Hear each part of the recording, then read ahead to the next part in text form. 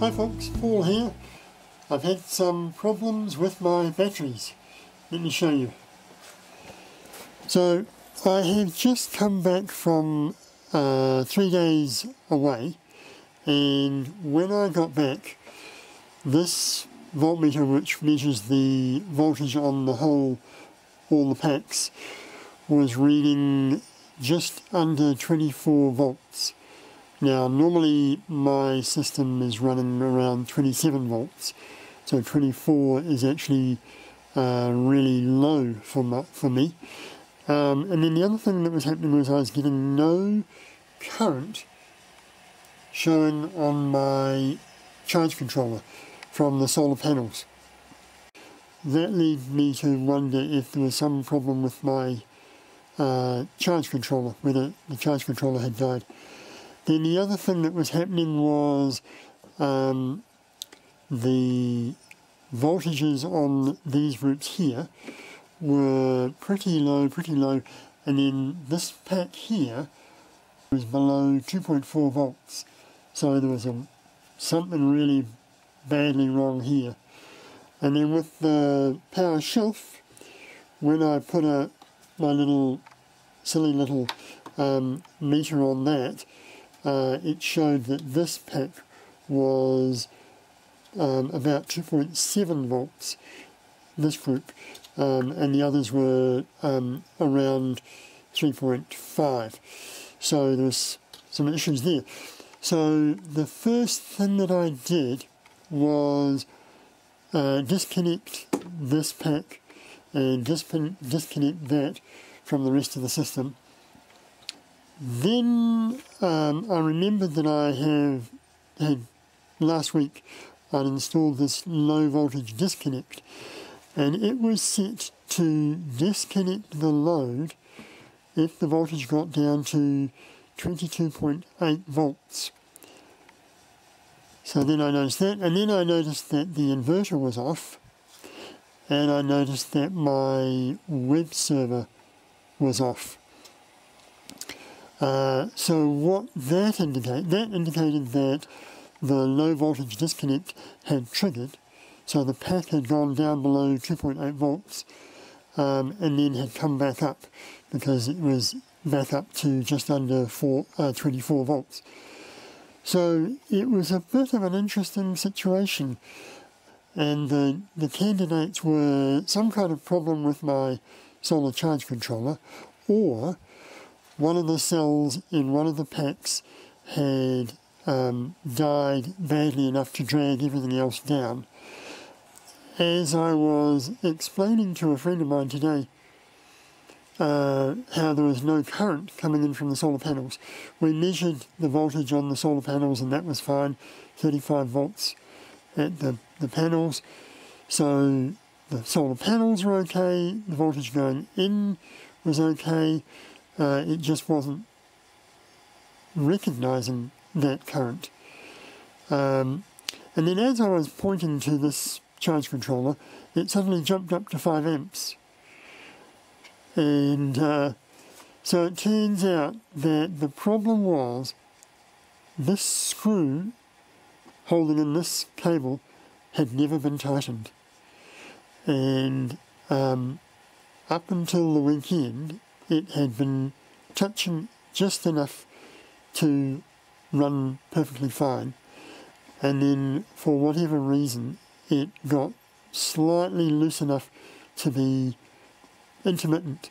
And so, my understanding of what happened to the whole system now is that that became disconnected over the course of three days, there was no charging of the system going on, and so the loads that I had plugged in slowly drained the batteries. And then my newly installed low voltage disconnect kicked in and um, prevented the batteries from being um, killed entirely. But this group here went below 2.4 volts which is really low. Um, and so I brought them over here to investigate. We separated the two groups and left them for half an hour to see if they would drift apart and this one ended up at 2.54 volts and this was 2.47 volts. So we figured um, if we were going to find a problem it's more likely to be in the lower voltage pack. Um, so right now I'm, I'm recharging this pack back up to um, 4 volts and I'm thinking that that's going to be okay, hopefully. Um, and then I thought, okay, if there is, let's assume that the, the reason this uh, group was lower than all the other groups is because one or more of the cells has gone bad, then assuming that the bad cell is in this pack here, in order to identify which actual pair is the, the bad one, we decided to desolder all the fuses so that we could measure the leave it to sit there and then measure the voltages across all the cells. And as we were doing that, we came down to this one here and I noticed that this fuse had blown and this had, fuse had blown. Which is a, a weird scenario. Then I also noticed that um, the fuse from here to here was um, blackened. The fuse over here, the, what was left, was blackened, and this one here was blackened as well, which suggested that this one had been heated up quite high, um, and this one had heated up quite high and blown. So the best uh, which is a really bizarre scenario. Why would, if there was a single cell or pair that had gone bad in this pack, um, why would I get these two blowing and these two almost blowing? And after thinking about this for a while, the conclusion I've come to, and uh, please let me know if you if this makes sense to you, um, or if you can think of a better, better explanation. The conclusion I've come to is that when I was installing this, I possibly, probably, um, accidentally shorted these two connections, the negative bus bar and the positive bus bar, and so for a very short space of time there was a lot of current flowing from the through the cells and the maximum current would be flowing through these cells closest to the short. And because my nickel plated steel strapping has a small amount of resistance as you get further away from a short the current would decrease. And that would explain why um, you'd get fuses blowing or nearly blowing um, at this end and not at the other end.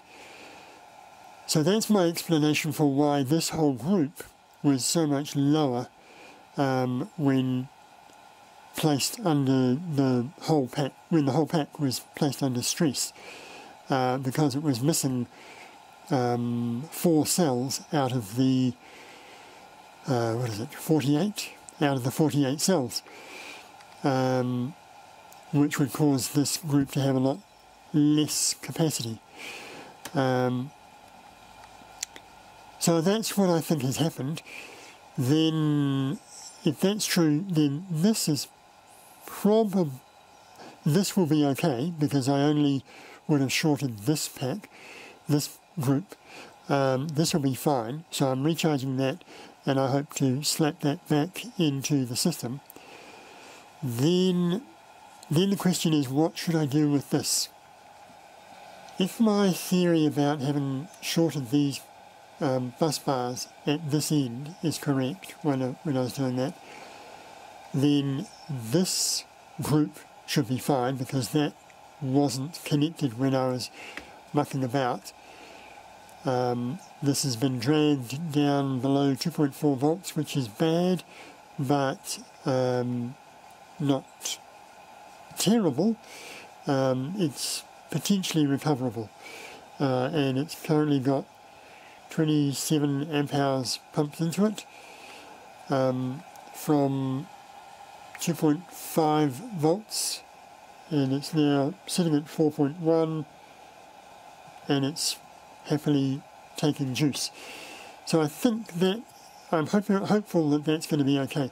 But now the question is, what do I do about this? My options are to solder new fuses back onto it, uh, charge it up and see if it's going to be okay. Or I could um, charge each individual pair up and make sure that their, their capacities are still okay. That's probably the most sensible thing to do, but it's incredibly time consuming. Um, and then another option is to um, build up another another group and use that. Uh, I've got a bit of work to do to recharge these ones um, and test their capacity. Uh, so in the meantime, I'd love to hear what you think I should do with these ones, whether I should just um, slap it back together and give it a go, or be sensible and um, test the capacity of each individual pair before um, moving ahead. Let me know what you think. Love to know. Um, thanks for watching. Cheers.